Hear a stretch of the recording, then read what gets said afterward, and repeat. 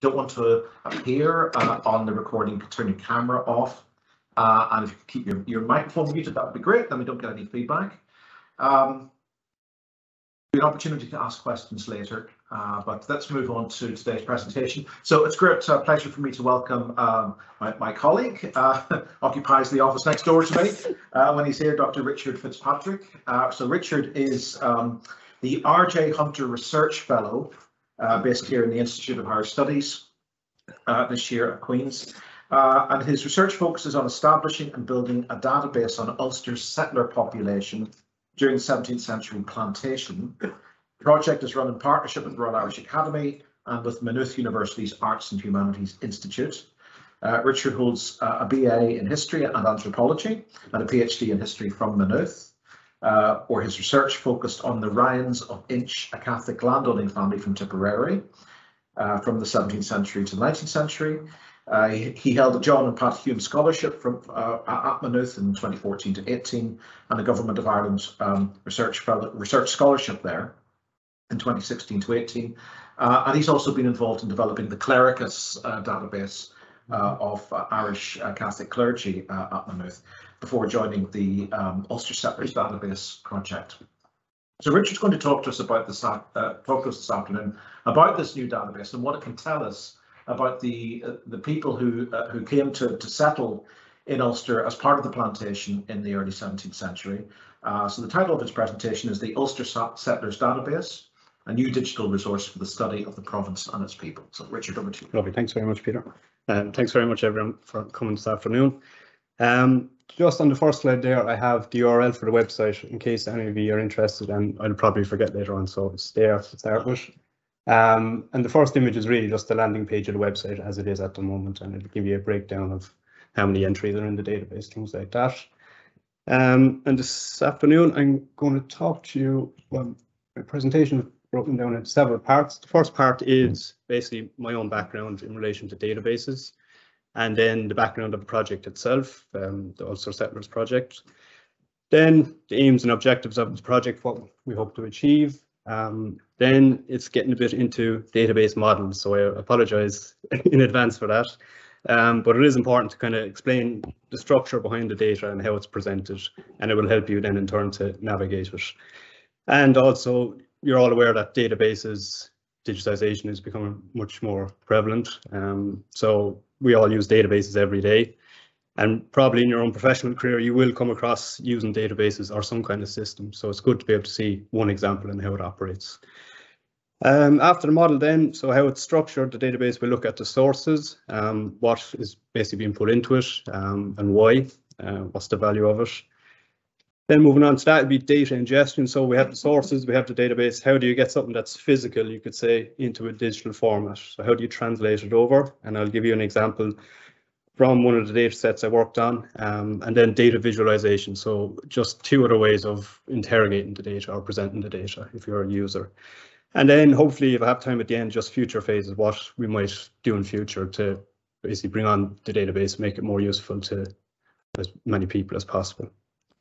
Um, so my own time in digital humanities started in January 2020 uh, when I started working on a new project called the Clericus digital, digital humanities project in Maynooth. And as Peter said, it's a database on the Irish Catholic clergy, so two very different populations. Um, Clericus is a prosopographical database, um, and basically prosopography, whoever you ask, you get a different answer, but basically what I have there is kind of close enough. So hmm. it's basically prosopography or less accurate or less accurately collective biography is a historiographical method that identifies and draws relationships between various people within a specific, well-defined historical or social context by collecting and analysing relevant biographical data. And I should also add there, it's also a response to the problem of not having much evidence for most people in history. So you're left with kind of tidbits, factoids. So what prosopography does is it brings all these disparate bits of information together and you see then what, what you can draw from that. Um, it's been going on since 18th century, 19th century, but it's really with the advent of computing, 1970s, 1980s, that historians and others saw the potential of being able to bring all this information together and to basically manipulate it or use it. Um, you see there in the bottom, that's just a an example from a regular prosopography. It's on the clergy again. It's again, it's just bits of information. But when you digitize it, what it does, it brings it all together. So you could have this individual here, James Cusack. He went on to uh, ordain a lot of people, things like that. So that's missing from here. But once you bring it all together, you get a much better picture of his um, career, I suppose. Then the current project stems from the Hunter Foundation, which was set up in memory of uh, Robert or Bob Hunter. Um, so his daughter Laura and several of his colleagues basically came together after his his death and created a foundation committee to make basically his work more widely available, better known to a wider audience. Um, excuse me, Bob um, was very important in relation to the study of the Ulster plantation, as we'll see. Um, and so the Hunter Foundation and the Royal Irish Academy commissioned the database project and it runs for a year, so it's ending soon. Um, the fellowship is hosted here, as Peter said, and technical assistance is provided by Maynooth. So the project's aims and objectives are pretty straightforward. Um, design and build a database on the Ulster settlers covering the period 1609 to 1641. So very important period under settlement. Next one then is to identify as many of the earlier early planter population as possible. Um, no, it's not an exercise of just adding in as many names as possible. It's basically about layering information. So you start off with a good base and from there you build and build and build. And again, you see what comes out at the end. And the last one then is more of a hope than an aim. It's hopefully it'll be a database that appeals to a wide potential user base. So academics, and I use academics, not just historians, you'd have sociologists, historical geographers, um, people interested in big data from computer science. So hopefully it will appeal to some within those areas. Then you also have local historians, of course. Um, you know, it's a useful resource for them in their own research, genealogists as well, and then members of the general public. So people, they might just have an interest in the plantation. They may have family who settled as part of the plantation. So again, it's trying to be as useful as possible to as many people as possible, hopefully. So the database model, it's a graph or a network graph database, specifically Neo4j.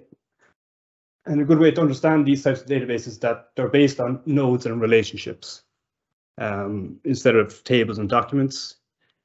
And if you want to imagine it, the data is stored like you might sketch ideas on a whiteboard, or maybe perhaps as a series of interconnected spiders, webs, or constellations. Um, and you can see the image down the bottom right. That is a visualization from the database. That's one person's network, basically. So you can see all the points, their nodes, and then what's connecting them are called relationship types. Um, and when I speak of nodes, what I mean in this context really is entities. And within the database, are six entities, four main and two minor. Uh, people are the main ones, as you'd expect. It's a biographical, prosopographical database. Um, then you have events. Um, and the best way to I suppose conceptualize events is if you think of someone's life, it is a series. It can be broken down into a series of events. Okay. Uh, then organizations. This can be a bit difficult to comprehend sometimes. Organizations are basically two. There's institutional organizations and geographical organizations, and there's not always a clear distinction between the two. Um, but the examples I give you there, an estate is a type of organization a proportion. So the parcels of land that were granted, um, baronies. So if you're not too familiar with baronies, they're an old medieval uh, unit. So the way it works usually is, let's say you have Ulster, then you have the counties of Ulster, and then you have the baronies that make up those counties, the precincts that make up those counties, parishes, townlands, basically. So as a hierarchy, that's where they sit. Um, I will show you an example of an organization in a minute as well, just to give you a better idea. And then the final main entry is our resources. So pretty straightforward. They're like your footnotes. So if you have an entry, you say something in that entry, you uh, connect the resource basically. And where possible, when you if you select a resource, if it's available online or out of copyright, there will be a URL directly to the source. So if you see something you're not sure of, you can go check it yourself. Okay. Uh, the two minor entities then are temporal, which are just dates. So you can have specific dates. So the 28th of November, 1622, date ranges 1622, 1625, or circa dates. And circa dates are pretty important in this context because based on the evidence, you can't always say when exactly something happened. So it's kind of in and around is the circa. So it's, that's that's a useful way of dating things. Um, the final one then are spatials. So that's basically any location on a map.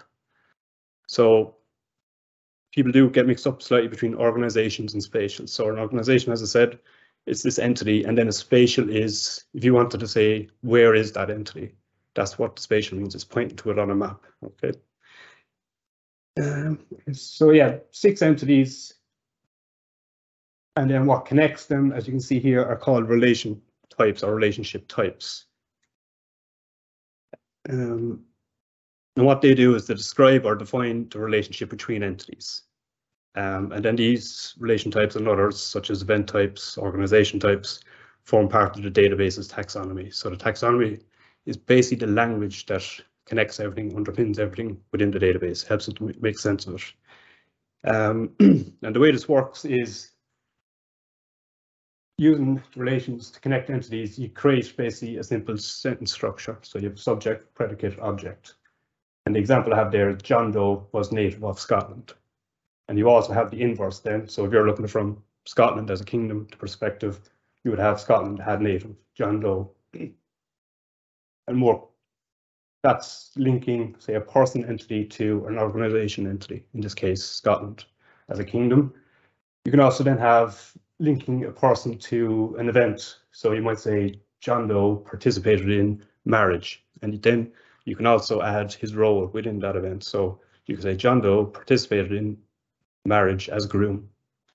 Um, and then you'd have the inverse relationship then. so that's basically the relationship types. And then this is kind of an overview then. You see how they're all connected. And you'll notice that you can connect people to people. Um, so you could say John Doe had son, Tom Doe. Uh, Tom Doe was son of.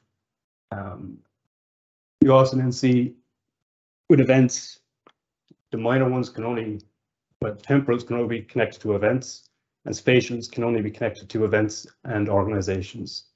So that's basically the structure within which all this data is stored and presented.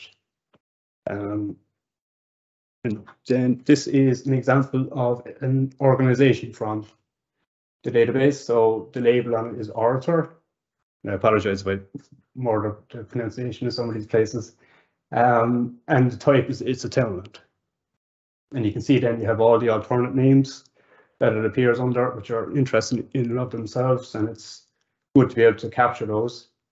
Um, and what's interesting with those is that they all occur within basically within the space of 20 years. So you've all, so again, it gets into linguistics then. Uh, you can add a description. So it includes a village of the same name. I wasn't too sure which came first, the village or the townland. You'd expect a townland, so we'd go with that. You then you have its location, so its spatial location on a map. You have linked events, so we have two residence events in this case. Um, you have people, so from those two events, we can say that this telling that these two residents. and then we also have linked organizations, so we can say it's part of Kildress Parish, part of Dungan Dungannon Barony, and part of Tyrone County. That's generally what you'll see if you're looking at an organization. And another thing to point out is that all the text you see in blue, you can select. So that will bring you to that entity or whatever it is, organization, event, person. So it's a way of navigating around database quite quickly and easily. So once we have the database in place, it's down to sources. Um, these are just a selection of sources that, uh, just, that have been ingested. So the big one are the muster rolls. And for anyone who isn't familiar basically the muster rolls are a military inspection, in this case to do militia set up as part of the plantation. Um, there's about 170, I think, in total. So basically estates and the people who muster for those estates. Um, that was a big work. Our Bob Hunter spent a lot of time collating this work, working on it. And then following that as part of the Hunter Committee, John Johnson edited the, remainder and published it, and it's a really excellent resource, I must say. Um, it's, as you can see, there's 13,300 people in it, so just that alone is quite, it stands out basically. Uh, the next one then are land grants, patents. Uh, these cover 1610 to 1615, and these are taken mainly from George Hill's work on the Ulster plantation. Um, there's about 400 in total. Um, about 110 are undertakers for grants to undertakers. There's about 60 to servitors, and then the remainder are to native grantees, so the Gaelic Irish. Um, and that's not to say that because there's more native grantees, that doesn't mean they got more land. It was usually much smaller parcels that, of land they were given. Um, there are other grants that came across after this, so they've been added where I found them. So it could be someone might purchase an estate from the original grantee, and then they'll actually get a patent re-granted by the king or whoever later on. Uh, the next source is the Summonister rolls. Again, this is from Bob Hunter's work. Um, very interesting source. Uh, in this instance, it's Tyrone. There's also a copy for Londonderry. Um, and basically, the Summonister rolls are, I suppose, synopses or notes on court cases, court sittings. So you'll have usually have the Court of Assize or the Court of Quarter Sessions.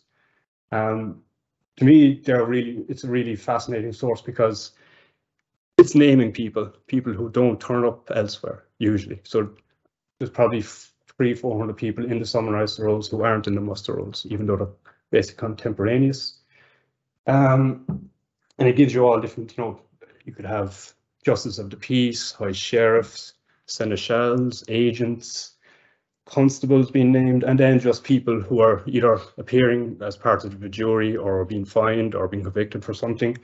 And usually they'll give you their address as well. So that's what I find the best, that you can actually map in all these addresses. So I think in the end there's 500 addresses just for Tyrone. So and that's something I'll show you when it comes to the mapping.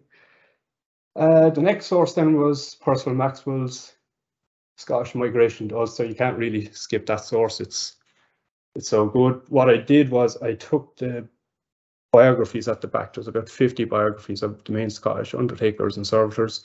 Um, and I used that to flesh out a lot of not just information on those people, but the movement of land. Who's acquiring this land after them? Are they staying on? Who's getting it? How are they acquiring it?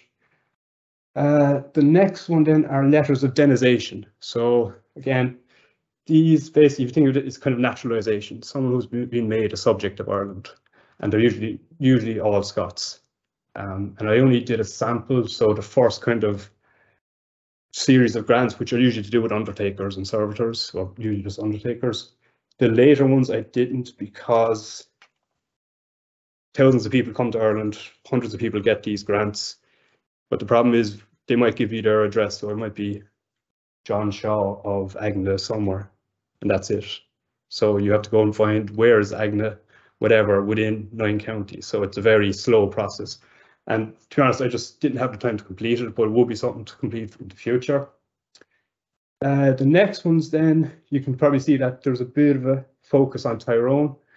And that was a decision we made kind of partway through you can't do all this in a year. So we kind of said we take a county. Tyrone is an interesting county. You know, it has a bit of everything. It has servitors, it has undertakers, it has native grantees. There's a bit of everything going on there. Towns, important towns. So we kind of focused in on those and just brought them up to a kind of a good level that we can say, well, this is the product you could get at a later time if we expanded it out to include all the nine counties or even just the escheated counties. Um, two surveys at Carew and Pynnar, um, two famous surveys. And they can grant, they can, you can link those surveys into the original grants. So you can actually see kind of progress of just even these estates, these grants, never mind the people who were involved. Um, and there are other surveys we could do in future. There's uh, Bodley, 1622 Commission, um, and there's probably one more. Next source then is another Bob Hunter source. It's Strabane Barony during the plantation. I haven't finished this one yet, but it's an excellent source of basically of names and people and where they are at certain times, what they're doing. And a lot of times you won't see this information elsewhere. So just for that, it's really useful. And again, it's fleshing out biographies. It's not just shoveling in names. It's trying to get something else into it, trying to build on that. Um, final source there then is another Bob Hunter one. It's published on the RJ Hunter um, collection website.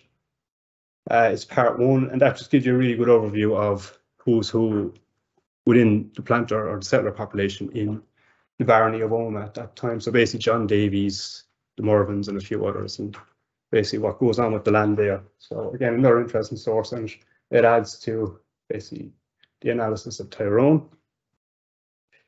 So we have the database, we have our sources. The next part then is basically taking those sources or that information that's analog, let's say, or just physical and translating it into digital. So the first one, the first page here is from the muster rolls, the index. So what you do, well, basically what I had to do there was photograph each page. Then using Photoshop or another editor, basically increase the contrast, make the text stand out more, and then you use what's called OCR to scan it. So that will actually scan the page, look for the text, and then transfer it over into this CSV file, which is basically an Excel or spreadsheet. So that will hopefully copy it across. Um, it's not perfect, none of these technologies are, so you have to look out for certain things. And if you see it once, you, you know it's happening. So once you identify it once, you can go and fix it elsewhere. So small little things might be the S on the end of James will disappear for some reason. I don't know why, but it does. Um, the abbreviation for cabin CV, it, for some reason, never reads that. Um, so all these small things, and again, you also have to check it manually. It's no good just scanning it and saying it's it's ready to go. You have to check it, make sure everything is as best you can, and then once that's done, you transfer it into a bigger spreadsheet, bigger CSV file, and you basically start putting in all the bits and pieces you need for the system to ingest it. So what you see here is, now this is an early version, I can tell, because Stuart is still spelled with a D. So for certain surnames, you modernize them a bit. So it, we went with S-T-E-W-A-R-T instead of the D. Um, but this version is then added as an alternative, so that will appear with the name. Um, same with the forename. If Christian name comes up in any strange way, you can add that as an alternative. Uh, you, question. Yeah. Sorry, like, How does that work for the data integrity? Like when you're looking back, if I'm looking at the record going, this Stuart, not Stuart. it's well, you get whatever is changed, whatever is replaced is added with the entry. So it's there under the name. You'll see the updated version as the main label, and then below that you'll see the alternate appellation. So steward with a D, things like that. Yeah, no, it's a good question. Um, then also you see you have the undertaker. Well, actually, William Caulfield, he's he has two estates, one as an undertaker, one as a servitor. So once that's all done, this goes on for a lot further back to Excel. Um, we have a a data ingestion tool basically that we built based on our work with Clericus. Whereas before, uh, my colleague Stavros, I would give him the rules to follow to ingest this data. It could be 10 pages long and he could spend two weeks coding it. So it's not very time efficient. So through this experience, we ended up building custom tools. So what used to take two weeks can now take two hours and it's just me. I don't need anyone's help. So it's much more efficient and even that in and of itself is a very useful tool. And if anyone wants to have a look at it at the end, you're more than welcome. Uh, and what that does really is you tell the system what the data in each of these columns is. So you say, I want to create a person. So what you do is you say, well, column A is the database number if it has one. That's the surname, that's the alternate, that's the Christian name, and that's the alternate, and that's your person entity. So when you build all your entities across the data set, you then get your relations and say, whoever, Robert Smith, uh, for Caulfield Estate. So you, you build it that way. Um, and that is that one. Oh, so once you have it ready to go, you ingest all the data. So all these muster roll data, this is basically what you get. this is the base, most basic kind of entry you'll get in the system. So you can see we're looking at it from the person's perspective, so David Wallet. Um, and we see that he participated in military muster as a militiaman. And then you can see all the other militia or other participants, usually militiamen. You have the muster master, William Graham there. and you can also then see that has association with Henry Pierce. So he's the landlord, and you can't say for certain that he was actually there at the time this occurred. So you can say the rest of them are there. They had to muster, they had to appear. Um, so you say it has association with. He's the landlord associated with this event, but we cannot say that he was physically there during this basically event. Um, then you also get connected organisations, so the Barony of Clankee, County of Cavan, and then the estate itself. You have your date and then you have your location. Um, and then from that event, you can actually say the following. So this, this is kind of an abbreviated way of communicating as well. It's a quick way for someone to look at an entry and say, oh, this is the person I'm looking for, or no, it's not. So you can see he mustered for the Pierce estate, he mustered for Clankee Barony, and he was a resident of Cavan. Beyond that, you can't really say anything else. In the beginning, I thought, well, if they mustered for the estate, they must be a tenant. But no, that's not really the case a lot of the time. Um, and then you have your source. So if you were to click on that source, it'll bring you to it.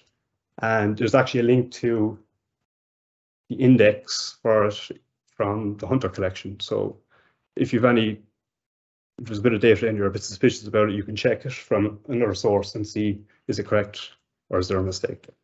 Hopefully there's no mistakes, but you can never be 100% sure. So that's a source with one resource or an entry.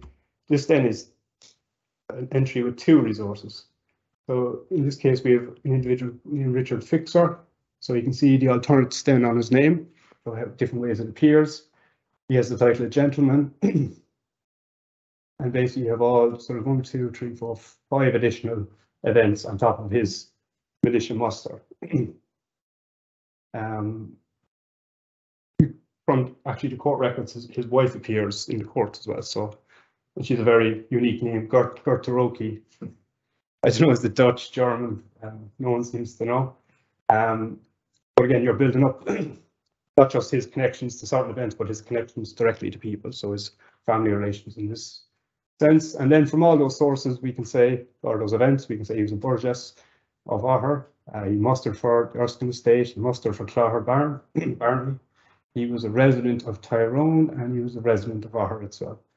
So you can see one source, there's a bit of information, two sources, it gets better. And then just finally to show you four sources, this is William Hamilton. Um, and another thing is all these individual individuals I'm showing you, none of them were undertakers or servitors, so they're they're not that top layer, it's people below that. And you can see from this, he has 43 events. So again, it does this kind of exponential growth. Um, so it starts with his birth, and the very last event is his death. So, but the, the last 30 years of his life isn't there because it goes past 1641, basically, and that's kind of the cutoff point. Um, and then you have his people relationships, his son, his grandfather. Um, oh, and also, you see these ones here, probably the same person as, possibly the same person as. This is, you know, is when you're dealing with these types of sources, sometimes you just don't know is this the same person? Um, and this is a way of kind of communicating it, but also trying to communicate certain levels of certainty about what you're saying. So probably the same person as is, that's me saying, I'm pretty sure this is the same person, but I cannot say it for certain. I cannot 100% say this is him. Possibly is, it's probably not him, but it's worth being aware of the existence of this person in your research, okay? And then other ones like was probably related to, so that's you know, they're living in Robert Hamilton and him are living in the same place around the same time. Good chance they're related, even though there are a lot of Hamiltons in the area, but there's a good chance they are. Uh, I had to cut it this, I couldn't show everything on this page, but all his organizations are there, then the four sources down the bottom. So that's kind of how it grows. And then I will just show you a bit of the website. Come up.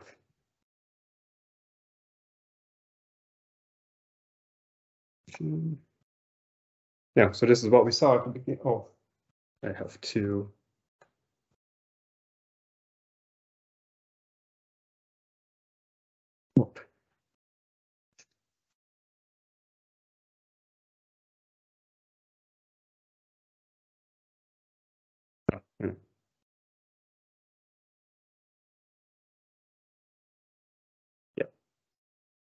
Ah, there we go. Lovely.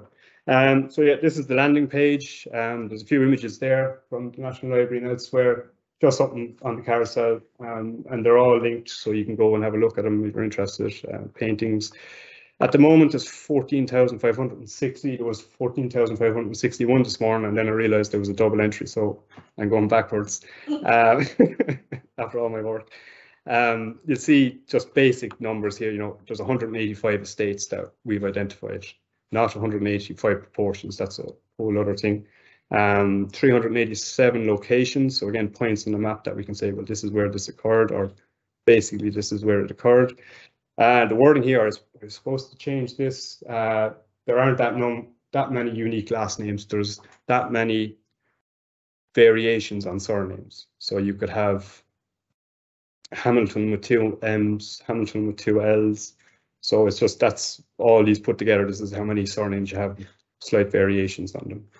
Um, if you want to get into the database, you can just go to people here or organization. You want to look at organizations directly or events directly. So you can navigate which way you want to look at it, beginning with, but and or you can just select here, search database. So this is basically what you get. Um, you have your filters on the left, so you can go by event type. Okay, so we're looking at addresses here, abodes, domiciles, there's 460. Okay, so they're mainly Tyrone ones. Um, burials, appointments, judicial events, so that's the courts basically. Honorific title is people's, you know, gentleman, baron, lord, um, esquire, whatever it is. Military inspection is the muster rolls. Uh, naturalization are the papers of denization. And there's all, some, there might be only one or two entries, others there possibly a couple of hundred to look at. Um, so let's say if you wanted to look at everyone who had an address in, it's going to be Tyrone, but you can look at it here. You say, okay, we're looking for Tyrone County. There's 411. And then you can narrow it down and say, well, I only want the people who appear in um, the Summonister Rolls, which is going to be basically everyone in this case, but um, if we can find it. So again, it'll narrow it down for you. There's actually 356, or so there's more, actually got more Tyrone addresses from elsewhere. And then you have gender. Now, um, when you talk about gender and balance when it comes to the early modern period, you have to apologize because it's the sources really. Um, as you know, records on males just far away female result, uh, records. But just in what I was doing, you there are not three. That's more than three. um, not not a lot more, but there are more. 53. Okay, so they're really coming from you know the wives of planter or the of undertakers. Um, I did one actual deposition from 1641 deposition, so that's her there, Gertrude Carlisle. So she's actually one of the better ones. Um, you have a couple appearing in the courts. Um, but again, future phase of the project, the best way to address this would, I think, would be the 1641 depositions it's pretty, you know, it's a fantastic resource despite what it, it depicts, I suppose to say. The amount of information it gives you about people's, their relationships, you know, where they lived, what kind of life they had, did they know their neighbours, did they get on with their neighbours, things like this. You know, it's not perfect, but it is a very good source. Um, and again, you can search by locations if you want, so, and then dates, you can refine it by dates. If you're a bit stuck and you're wondering where what, what's going on here, you can click these fellas here, filters, so it'll describe to you what you're seeing and it'll explain it out. Um, the same with if you go to events, you get the same thing. You go into an event. Uh, so this is a, an actual description of someone. So someone was described as an inferior burgess. Um, and these are all the individuals who had that title. Um, so if you're a bit uncertain about what you're looking at, you can kind of go here and it'll give you, well, this is what the people side of things is about.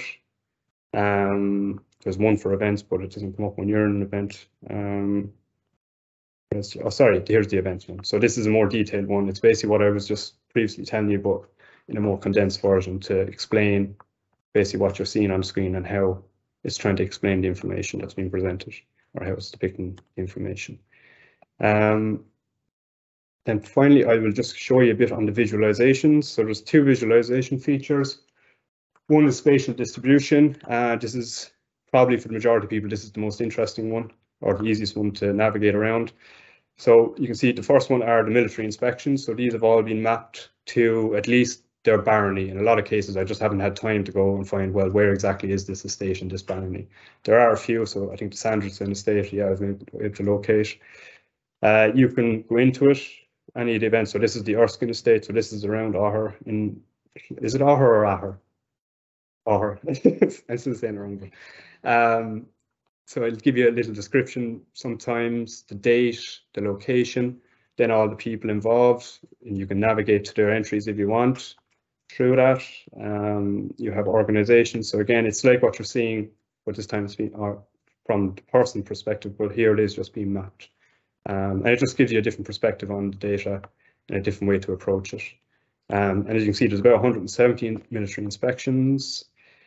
Then we have the plantation grants. Um, kind of technically, you should have that the first one, but I don't think people mind too much. Um, so here you have grants. Uh, let me see an interesting one. So what I did with the grants is where they give the description of the estate. If it's a nice condensed description, that goes in fully. If it's one for a servitor where it goes on for two pages, naming out really random places, I condense it down to what's department information and I give you the names of the first few uh, denominations of land. So let's see, we'll have a look here again, in Clara.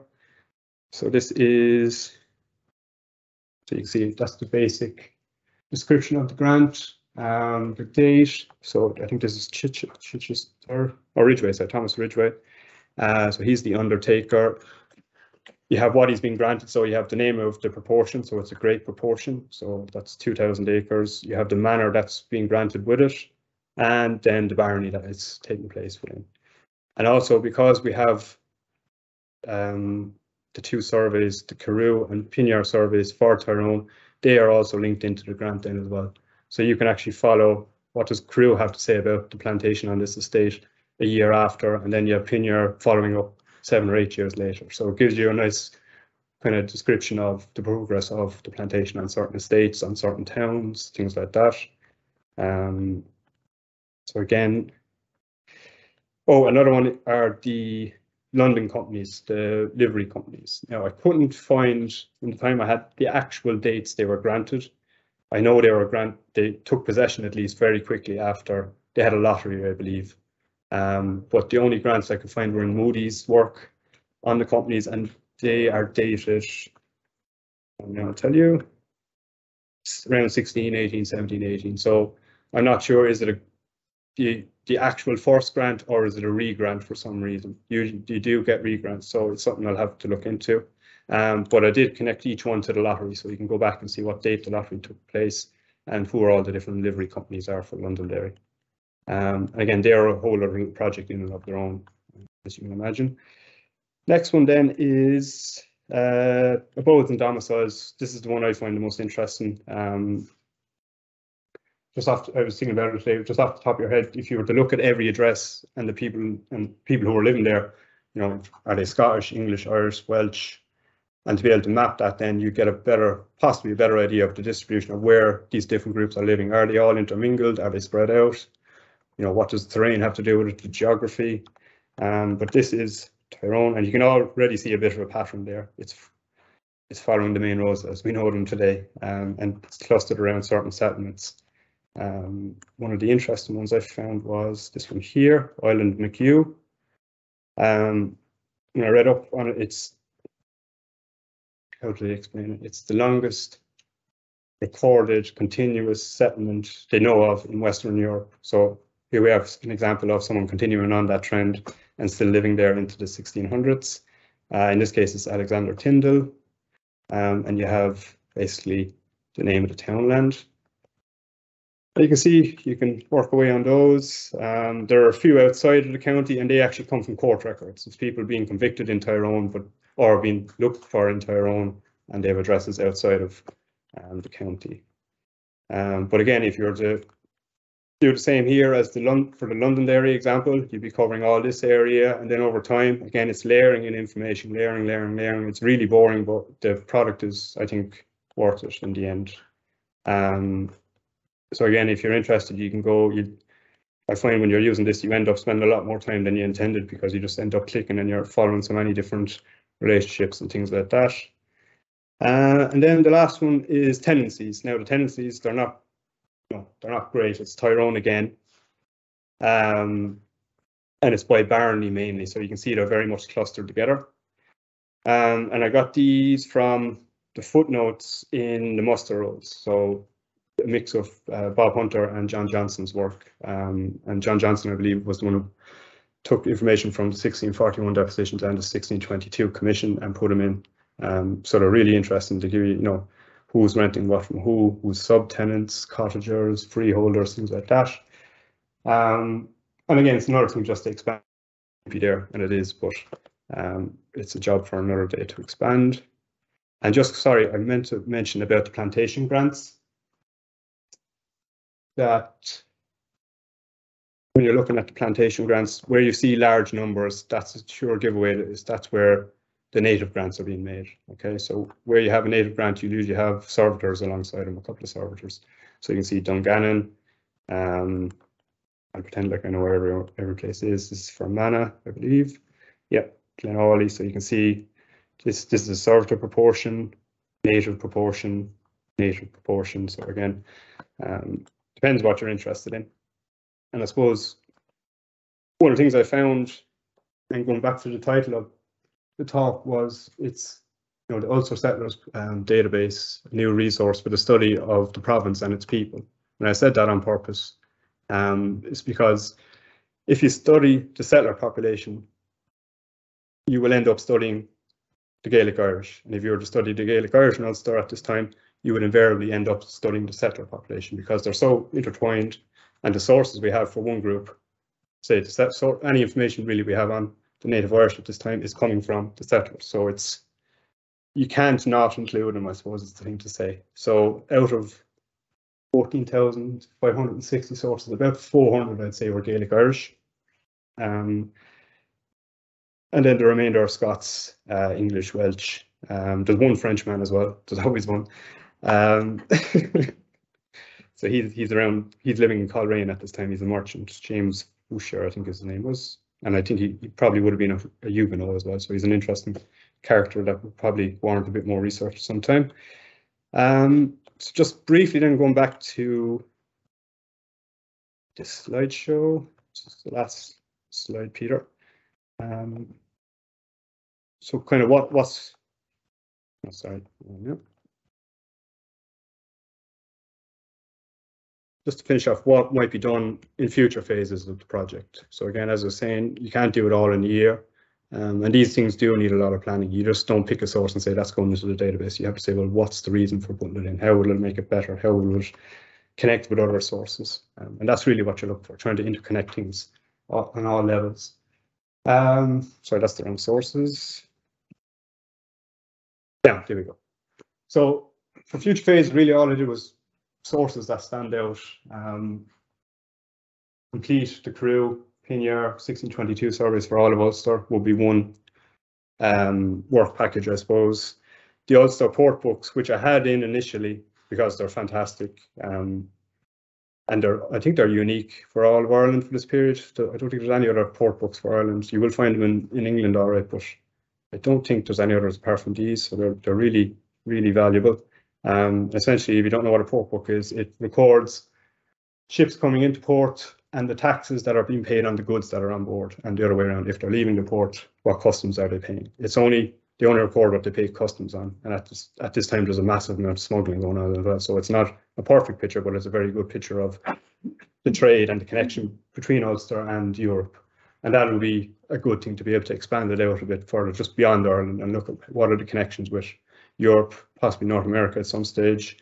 Uh, as I mentioned before, the 1641 depositions, if I had to pick one, I think it would be those, but the only thing is there's so many of them, so you'd have to break it up, and it is a big project, but I think it will be quite interesting to see what the results will be on that. I mentioned these before to someone else, the roads for Londonderry, and I think there's possibly one for Cavan, not a complete version. I've seen it mentioned and then mentioned elsewhere it doesn't exist, and then someone saying it doesn't exist, so I'm not too sure if it does or not. So it'll be interesting to see what they were doing in Cavan at that time. There's a great parchment book, basically to do with the Londonderry companies. That's been digitized. It's if you search it online, the Great Parchment Book, it's one of the first things that comes up. It's a really good resource. It's a little database. They have all the people mentioned, all the places. So it's similar enough to this. So again, and in future, it could be possible rather than starting from scratch, basically to share data with each other. They transfer over their data. They might like something we have, so it would be a good collaboration possibly. Uh, inquisitions, they pop up all over the place. They're good for figuring out changes in ownership, who people are, and all other interesting bits and pieces of information. And then the final one, last but not least, will be the plantation maps. So many of you are probably aware that the collection of maps is quite remarkable for us, or I would say for the plantation. And what you would do there is taking these maps, scanning them, and then overlaying them over that modern map I have. Okay, so you're getting, you know, two sources in one. You're seeing how people at the time would have seen these areas, how they're connected, how they're broken up, um, how they're divided, and it'd be just a good resource. Um, and again, you could expand that. You could do the down survey maps from later on. Now, the down survey maps for the north aren't as um, informational, I suppose, as others, but again, it will be a, a step to take. Um, and that's basically it, everyone. And thanks very much for your time, and thank you.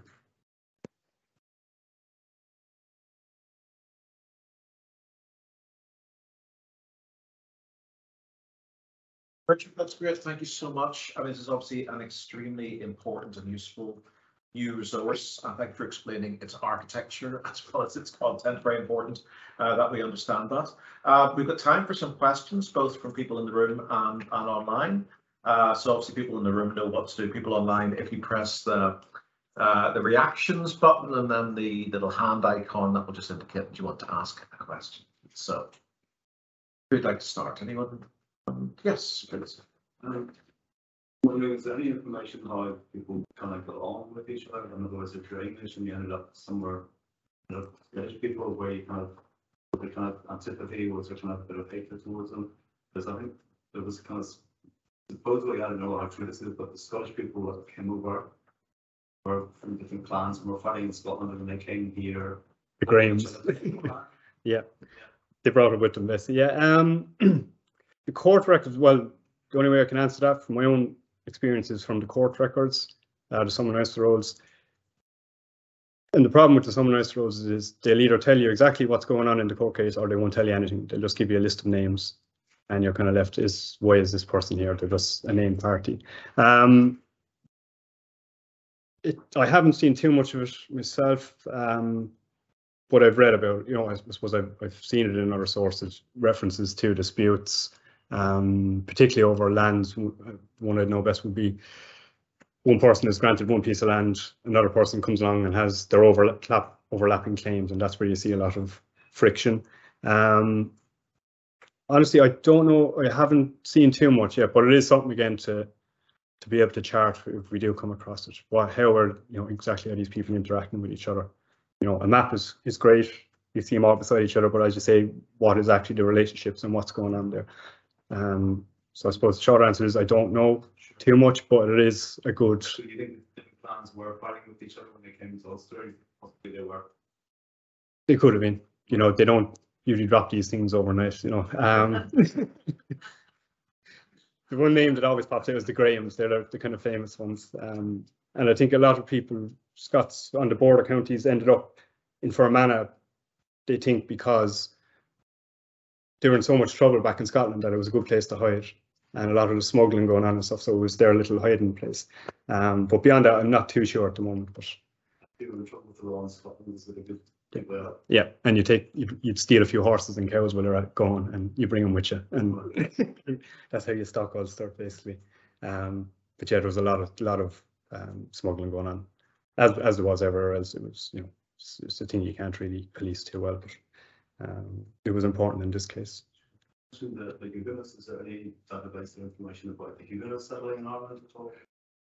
Um, I'm sure there probably is. Um, there's so many databases now, um, not just even prosopographical ones. I'll maybe someone here or someone online will be able to answer that. They know more about the Huguenots, but I, I would imagine there is. But if there isn't, there's certainly enough information out there to do something like this. Um, and again, it's something like this, you know, if the Huguenots are in Ireland around this time, is that a population we add in with this population, make it the whole island, or do we just focus in on Ulster? It depends, you know, it's really what's the best move, I suppose, what, what's, you know, the best bang for your buck, I suppose. So, no problem. Right. I think it's a obviously one of the key things is establishing relationships between people. So do you have to do that uh, in a scholar, traditional scholar fashion, is anything within the system that actually helps you to? No. complete it? No. It's all done as. Every decision is a man-made decision or made by a person, yeah, which is me. So resources, and you- you're kind of like a. Yeah. Mhm. Disambiguate. this one. so- Disambiguate. uh, It's, it's, it's an enjoyable practice in one sense, but it's also mind-numbingly. And the more shifts that you do that, then that increases. Exactly. And usually it's not even, you can narrow it down sometimes to one person and you can be almost sure this is them. It's just you're missing that direct thing. Other times you could have seven possible possibilities. Or if someone was called John Bell or someone, or Walter Bell or William Bell, you say, well, there's like just 10 William Bells in the surrounding counties. So it could be that person who could be just in Tyrone for a short period. They might have moved, so you don't really know. Um, and you, you do pick up, you know, from certain works like um, George Hill's work and Perceval-Maxwell's, you know, they are telling you the relationships as well. But oftentimes you might find mistakes. So, or one person might say, this is the person's wife, or this is the person's wife. And sometimes it turns out that they married twice, but there's no rec- exact record of it. But you do see it in elsewhere in the records with grants and things like that, or um, jointures, things like that. You see, there's a reason why there's a lack of clarity, I suppose, but you can figure it out. But it does take time, a lot of time. Um, but it's enjoyable once you figure it out. It's like anything, it's a puzzle, I suppose. It's the recollection rather than a question. I did meet Bob Hunter a few times and he had the most wonderful vituperative tongue in relation to his colleagues within the history. department. Well, I don't know whether that was reflecting, but yeah. it yeah, was wonderfully entertaining. yeah. I get that impression. I do. He's from people I've spoken to. He's well, very well liked and respected as a person and as a historian. Yes. So his spirit continues to preside. over Definitely. this project. Uh, Neil? No, thank you. Same- Same. as- And that's in the context of years work. Hmm. Uh, but in, in that regard, uh, and you mentioned yourself sharing data, uh, to what extent have you been able to use uh, other sources, online sources that are already in existence, databases on placements in particular? I have a specific interest in the Northern Ireland system, Mhm. as, as Greg would have had to in the past. Um, and we have the Logan site as well. Yep. So, so how are those resources utilized and what is the capacity for linking your data with their data? Um, as to- well, as I said, Logan and then Townlands.ie are probably the two go-to. There's another one I can't think of the name. It's I think it's a private one, but it's again along those lines. Pretty useful.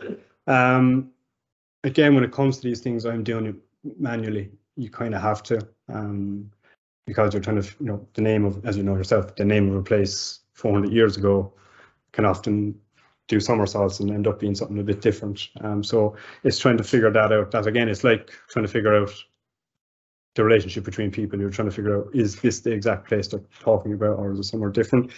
Um, when it comes to actually kind of batch or mass sharing data, um, you could. It's it comes down to mapping and sharing coordinates. I suppose is the thing. So you'd, as you know, in these databases or Townlands Organum, they have geolocation. This is the extent of this organization, as I call it, or townland, or whatever you want to call it. Um, and you could do it that way. You, I suppose, kind of map it over onto your map. Um, now, again, I'm nowhere near an expert on this. The best person for this is um, Stavros, who's our technical officer. He he could kind of tell you in two seconds how you do it. Um, but it is possible, and all these things are possible. If, if it's digitized, you can do something with it at least. Um, but again, I'm not an expert on that translation over. Um, it's not something I've done too much of, but it is again something we would look to do in the future. It's you get to a stage where we're going to say, well, how can we share what we have and how can we benefit from that interaction as well? It's and it saves everyone a lot of work. You relations between various of companies, some of that work is done already by us. Mhm. It's here in Queens. Yeah. It's Most of here in Queens. Yeah. So. That'll be another thing to yeah, another That might help. definitely. Yeah, just uh, do do want all hold questions, but uh, I think what you really need then is you need resource indicators, uh, uh, so that uh, you know, a person Mhm. has a code associated with them, rather than just a, name which could be the same as somebody else's. name. Yeah, that's what we actually do that. So every every entity in the system has its uh, a number basically. Yeah, So the first entry into it would be in zero zero zero one, and it goes up and up. So every townland, every location has a distinct identifier because you need that when you're batch transferring information um, from, say, a spreadsheet into the database. Um, so if you're saying like this military muster took part on this estate, that estate has to be constant for everyone in that list for them all to transfer into that one event. So it's the it's actually the number that it's not even the name is important when it gets down to this level. It's the number that they're copying over onto. Um, so it replaces then what you want is your uh, unique number to match Miguel's. Exactly. number. Yep. Uh, There's two different systems. they need to communicate basically. Yep. Yeah.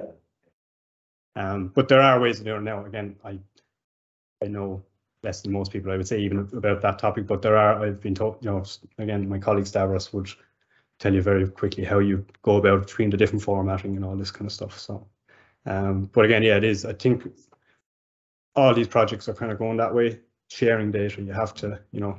Um, hopefully, yeah, no, that's something to do for the future. It's another big project. Okay, um, if anyone's online who wants to ask- a question, um, I do see a hand up. Pat, do you, do you want to ask a question? Or is that just a glitch?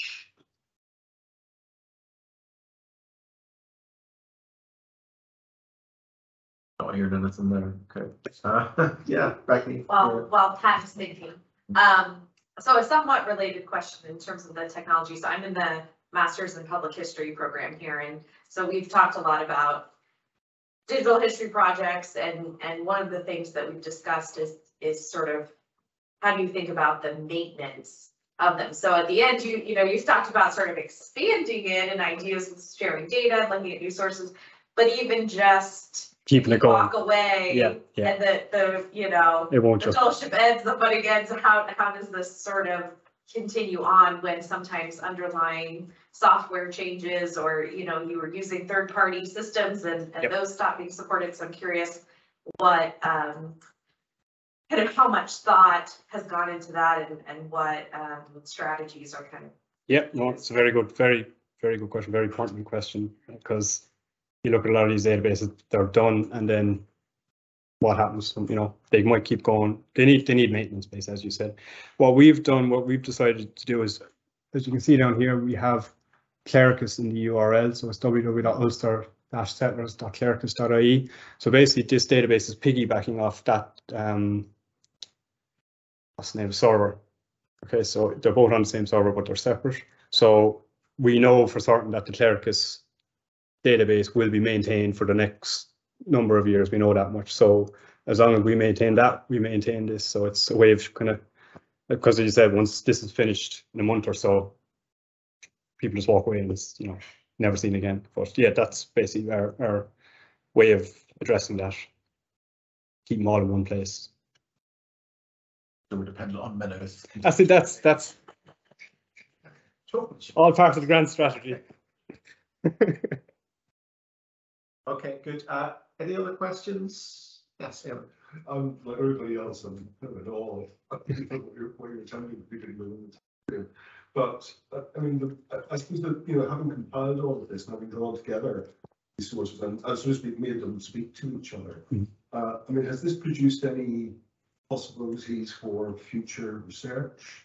Has it produced, you know, ways forward that, that you can see people following up?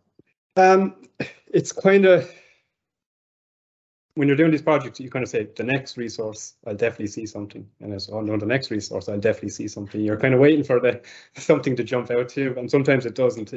And in the end, I think it comes down to just you keep adding in relevant sources, you keep layering the information, and then eventually you will come. You'll either spot it yourself, or you can go to the data visualization feature and you can talk to it that way, and you'll see that will pick up connections and things, you know, going back two, three, four, five steps from each other.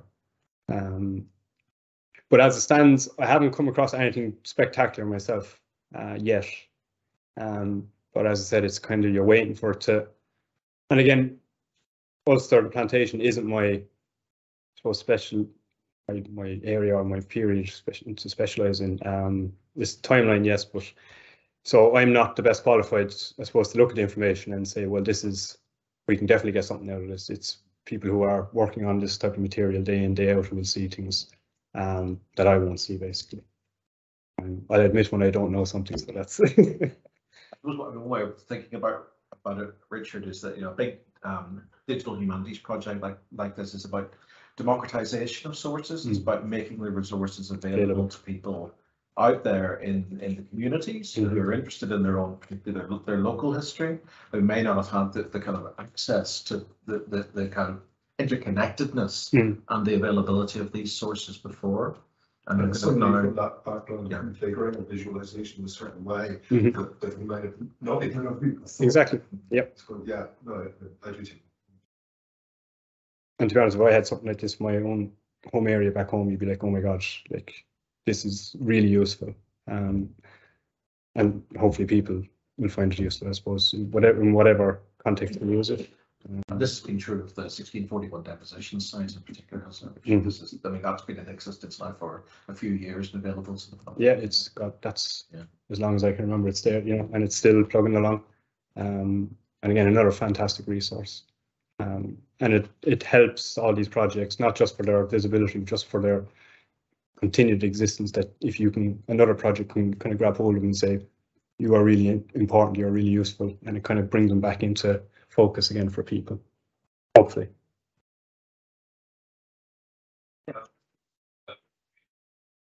Lots of sources you have, it isn't possible. The kind of uh, markers you have for individuals don't include religion. Is that right? So. you know, yes. Substantial numbers of Catholic families. Mhm, Um, so uh, is there some way of tracking that kind of thing? It's a tough one. So if you're saying Scottish Catholics, you're probably looking at the is it the Hamiltons around Strabane? Yeah. Um, uh, it's a tough. It's a very tough one. Um, you could say, well, the Native Irish, by and large, are going to be Catholic. Scots could be. It depends, I suppose, maybe where in Scotland they're from, what area. So maybe to understand that, you're better off looking at the name first and trying to localize it, which will be, I think, will be another interesting thing is to take the muster rolls and work back and see, you know, Armstrong is primarily the borders. So you can say, well, this person probably originated from there. And you can kind of come at it from that direction and what what was the state of religion in that area at that time, maybe. Um, but it is, yeah, it was something I had on my mind. Do you add a connection to a church or a religion?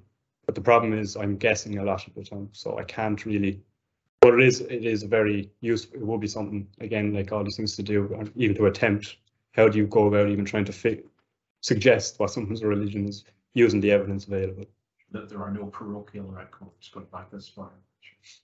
i'm sure there must be some um maybe not this far First session books, uh, sixteen forties. Yeah. 1640 kind of is the breaking point after 1640 things go up whereas before that you're kind of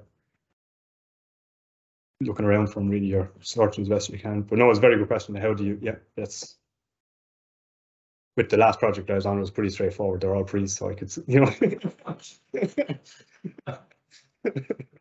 You'd like to think. yeah, you hope that's the. It's always going to be an outlier. yeah.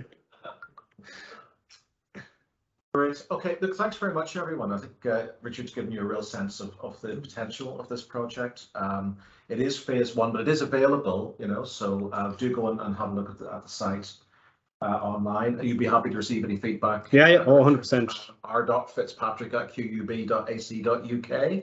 If people want to, um, uh, to e- e- email Richard their, their thoughts on it, suggestions for further development. Uh, hopefully there will be further tranches of money coming forward um, to allow the, the further development that uh, Richard has talked about. Um, got our fingers crossed on that. That's it, yeah.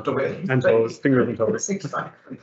Uh, in the meantime, uh, thank you all for, for coming and participating. Um, we perhaps just finished by giving Richard a round of applause.